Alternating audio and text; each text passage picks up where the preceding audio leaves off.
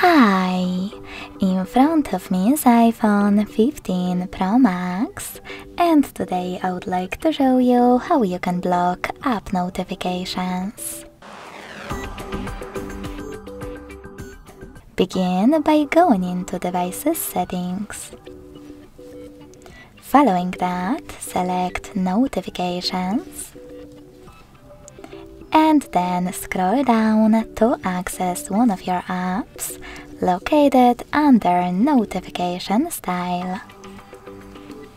When you find the one from which you want to block notifications, click on it and then use this switcher next to Allow Notifications to switch them off or on.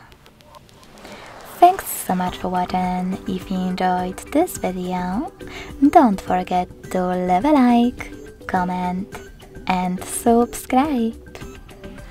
Bye!